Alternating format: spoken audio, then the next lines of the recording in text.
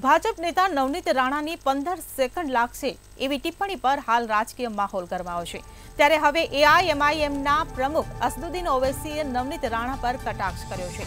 તેમણે કહ્યું કે મેં છોટું એટલે કે અકબરુદ્દીન ઓવૈસીને ઘણું સમજાવ્યા પછી રોક્યો છે. હું છોડી દઉં? તમને ખબર નથી કે છોટું શું છે? મારો છોટું નાનો ભાઈ તોપ છે. જો છોટું એકવાર બહાર નીકળી ગયો તો પછી તે મારા સિવાય કોઈના બાપનું સાંભળતો નથી. તો પીએમ નરેન્દ્ર મોદીએ કોંગ્રેસ અને બીઆરએસ પર નિશાન સાધતા કહ્યું હતું કે ઘણા વર્ષોથી કોંગ્રેસ અને બીઆરએસે હૈદરાબાદ એઆઈએમઆઈએમને લીઝ પર આપ્યું છે.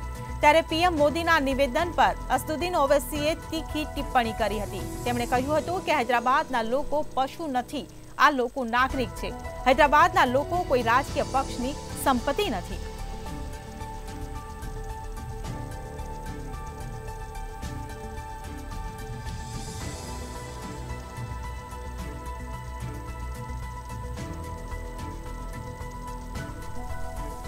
તો પીએમ મોદીએ કોંગ્રેસ, બીઆરએસ અને એઆઈએમઆઈએમ પર જે ટિપ્પણી કરી હતી તે બાદ હવે ઓવેસીનો પીએમ મોદી પર વળતો પ્રહાર સામે આવ્યો છે.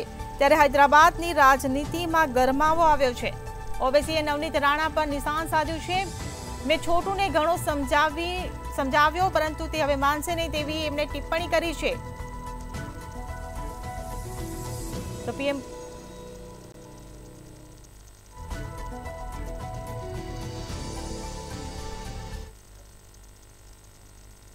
તો સંવાદદાતા ધ્રુવ કુંડેલ આપણી સાથે જોડાઈ ગયા છે. જે ધ્રુવ, જે રીતે પીએમ મોદીએ જે ટિપ્પણી કરી હતી ને તેની પર ઓવેસીએ વળતો પ્રહાર કર્યો છે. હૈદરાબાદની રાજનીતિમાં ગરમાવો આવ્યો છે. શું કહેશો?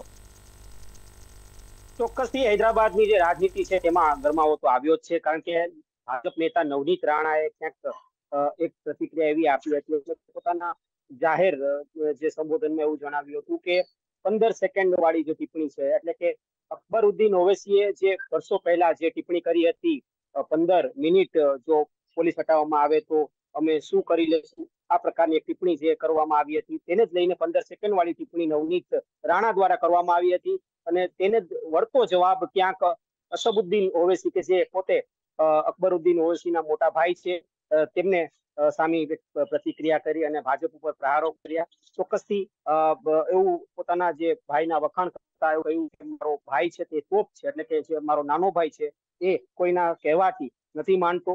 માત્ર ને માત્ર મેં એને રોકી રાખ્યો છે માટે તે અત્યારે શાંત બેઠો છે. આ પ્રકારની પ્રતિક્રિયા પોતાના ભાષણમાં આપી. ચોક્કસથી આ એક શાંતિ દોડવાનું એક વિવાદિત ટિપ્પણી કહી શકાય કે રાજકીય પંડિતો પણ આવું કહી રહ્યા છે કે એક બાજુ જ્યાં ચૂંટણી ચાલી રહી છે ત્યારે આ પ્રકારની પ્રતિક્રિયા ન હોઈ શકે. આ જે બયાનબાજી ચાલી રહી છે તે એના ક્યાંક શાંતિ દોડાઈ શકે છે. આવું રાજકીય પંડિતો અત્યારે જણાવી રહ્યા છે. ખાસ તો અસબુદ્દીન ઓવૈસીએ ફરી એક વખત પોતાના નિવેદનમાં ક્યાંક એવું જણાવ્યું કે, ક્યાંક મેં મારા ભાઈને રોકી રાખ્યો છે, જેથી કરીને અત્યારે શાંત બેઠો છે અને હું જ્યારે આરામમાં જઈશ ત્યારે હું કહીશ તું સંભાળી લે, તું સંભાળી લેજે. આવી પ્રકારની પ્રતિક્રિયા તેને જે પોતાના ભાષણમાં આપતા.